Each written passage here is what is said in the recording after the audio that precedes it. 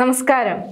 കോടികൾ മുടക്കി സത്യസന്ധതയോടെ സംരംഭങ്ങൾ തുടങ്ങുന്നതിനു വേണ്ടി സർക്കാർ സ്ഥാപനങ്ങളിൽ കയറിയിറങ്ങുന്ന വ്യക്തികൾക്ക് സംഭവിക്കുന്നത് കണ്ടാൽ സാധാരണക്കാർക്ക് എന്ത് പരിഗണനയും അവകാശവുമാണ് ഇവരൊക്കെ നൽകുന്നത്?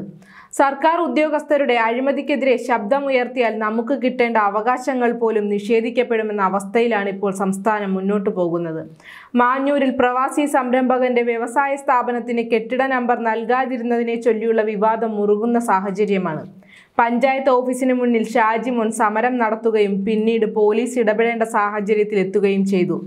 മതിയായ രേഖകൾ ഹാജരാക്കാത്തത് കൊണ്ടാണ് കെട്ടിട നമ്പർ അനുവദിക്കാത്തതെന്ന് പഞ്ചായത്ത് പ്രസിഡന്റ് പറയുന്നത്. അഞ്ചു രേഖകൾ കൂടി ഹാജരാക്കിയാൽ കെട്ടിട നമ്പർ നൽകാമെന്നും സംരംഭകനായ ഷാജിമോനോട് പഞ്ചായത്തിന് വിദ്വേഷമില്ലെന്നും പ്രസിഡന്റ് കോമളവല്ലി വിശദീകരിച്ചിരുന്നു. ഇനി പഞ്ചായത്തുമായി ചർച്ചയ്ക്കില്ലെന്നും കോടതിയോ മന്ത്രിമാരോ ഇടപെടാതെ പോരാട്ടം അവസാനിപ്പിക്കില്ലെന്നുമാണ് ഇതിനെതിരെ ഷാജിമോൻ മറുപടി നൽകിയത്. എന്നാൽ ഇപ്പറഞ്ഞ സർട്ടിഫിക്കറ്റുകളെല്ലാം പലപ്പോഴായി എത്തിച്ചിട്ടും അനേകമനേകം സാങ്കേതികതകൾ നിരത്തി എന്തിന് തനിക്ക് നോട്ടീസ് നൽകിയ എന്ന മറുചോദ്യവും ഷാജി ഉയർത്തുന്നുണ്ട്.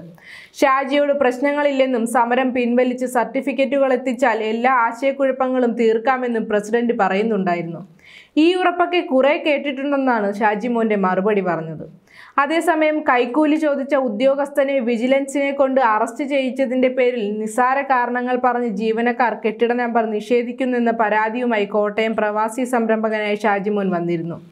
വ്യവസായ മന്ത്രിയുടെ ഓഫീസിന് പോലും തെറ്റിദ്ധരിപ്പിച്ചാണ് പഞ്ചായത്തിലെ ഉദ്യോഗസ്ഥർ തന്നെ ബുദ്ധിമുട്ടിക്കുന്നതെന്നും ഷാജിമോൻ ചൂണ്ടിക്കാട്ടിയിരുന്നു. മാഞ്ഞൂർ പഞ്ചായത്തിലെ ഉദ്യോഗസ്ഥർക്കെതിരെ നടപടി സ്വീകരിച്ച് മുന്നോട്ടു പോകണം. ഇരുപത്തഞ്ച് കോടി മുടക്കിയ ഒരു സംരംഭകന്റെ അവസ്ഥ ഇങ്ങനെയാണെങ്കിൽ സാധാരണ ജനങ്ങൾ എന്ത് സുരക്ഷയിലാണ് ഇവിടെ നിൽക്കേണ്ടത്?